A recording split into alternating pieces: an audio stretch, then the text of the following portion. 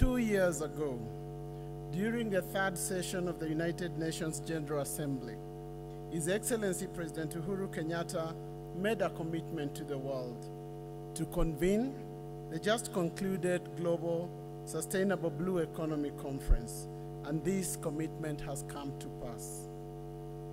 In the last three days,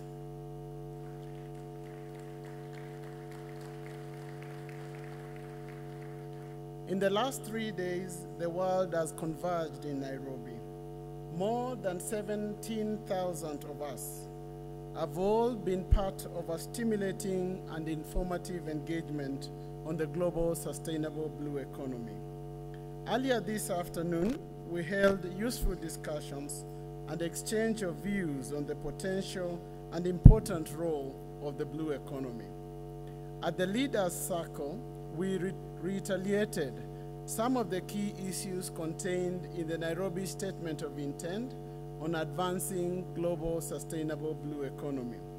The Statement of Intent represents key political messages out of this conference. We can only hope that it will serve as a basis and reference point not only for the work of this conference, but also for future engagements discourse, and activities related to the blue economy.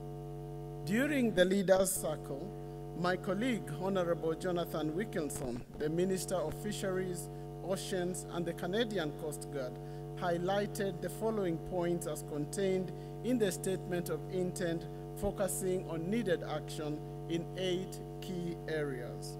One, the need to promote action oriented global strategies that place people and the blue economy resources at the center of sustainable development as a contribution to the realization of the United Nations 2030 Agenda for Sustainable Development and the SDGs. Second, the need to promote collaboration for sustainable partnerships and projects in the various sectors of the blue economy for economic growth, poverty alleviation, and conservation of the resources of the present and future generations. Three, the need to mobilize resources such as finance from public and private sources, access to technologies and innovations, as well as capacity building among local, national, and international stakeholders for the full realization of the potential of the blue economy. Four, the need to promote the role of women in the blue economy and identifying the barriers and opportunities to further empower women and encourage their role in positions of leadership. This intent stems from recognizing that gender equality and the empowerment of women will build a more peaceful, more inclusive, and more prosperous world. Five, the need to strengthen science and research to generate and disseminate evidence based knowledge and information on advancing sustainable blue economy. Six, the need to strengthen science policy interface of the blue economy resources to inform decision making. Seven, the need to strengthen governance mechanism for a sustainable blue economy, including by raising awareness and ensuring stakeholder participation in policy and decision making. Eight, the need to promote sharing of innovations, sharing of technologies, and best practices and experiences within and across regions.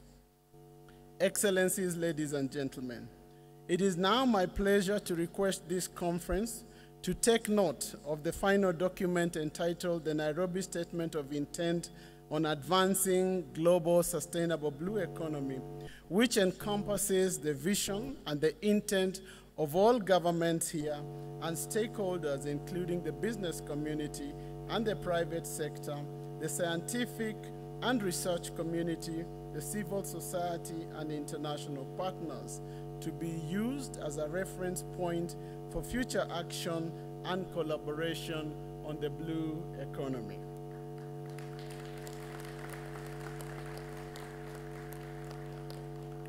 Excellencies, ladies and gentlemen, I now wish to thank you all for your active participation. In fact, the complaint we had was about how people could not get to various places they wanted to be at the same time. The Ministry of Foreign Affairs is very proud to have chaired and executed the preparations of the Global Sustainable Blue Economy Conference, and we are sincerely grateful to our local and international partners for their material support and collaboration.